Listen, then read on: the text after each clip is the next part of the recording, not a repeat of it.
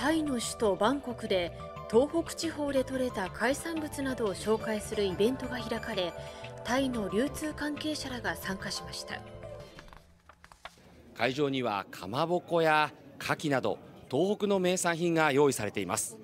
早速奥ではタイのバイヤーが商談を始めています。商談会を兼ねたこのイベントはタイにおける販売ルートの開拓が目的で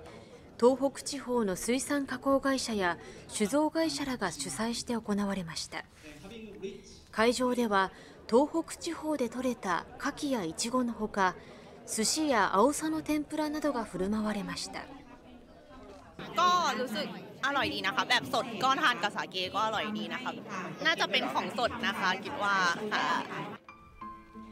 タイでは若者を中心に和食の人気が高く 去年日本から輸出された農林水産物の額は390億円を超えています。